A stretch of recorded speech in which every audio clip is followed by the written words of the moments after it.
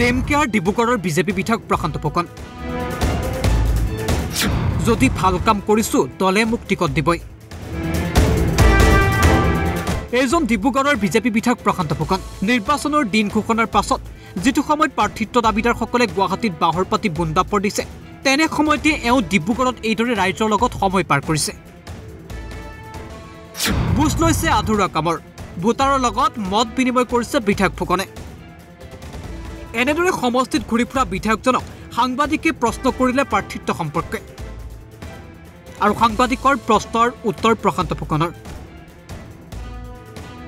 Cream উলিয়াই বনোৱা সন্দেশ খাম মই মই বেয়া চকীদাৰ নে ভাল গম পাব সকলোৱে। আজি দুবছৰ তিনি বছৰৰ পৰা ছাৰ্ভে চলি আছে। ছাৰ্ভে চলি চলি চলি চলি শেষত যিটো ক্ৰীম ওলাব এই ক্ৰীমৰ পৰাই সন্দেশ বনাই দলে টিকেট দিব। সেইটোৱে হ'ল ছিষ্টেম আৰু সেই ছিষ্টেমত ভিতৰত কাৰ্টেৰিয়াত যদি মই পৰোঁ তেতিয়াহ'লে নিশ্চয় মোক ভাৰতীয় জনতা পাৰ্টীৰ পৰা টিকেট দিব।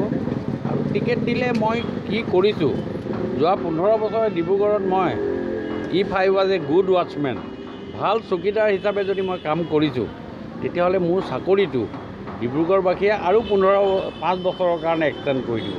দলৰ কৰ্তৃপক্ষই সুন্দৰভাৱে জানে। সেইকাৰণেই মই আজি কৈছোঁ যে মই গৈ গুৱাহাটীত গৈ আকৌ চেহেৰা দেখুৱাব লাগে বুলি মই ভবা নাই।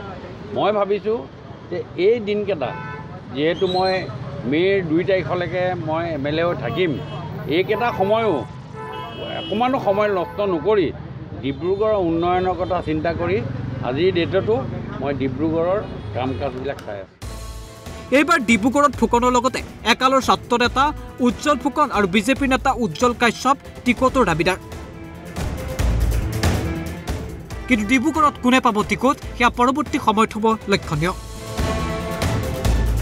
ডিব্ৰুগড়ৰ পৰা মুক্তামণি হাজৰিকাৰ ৰিপৰ্ট ঈশান নিউজ।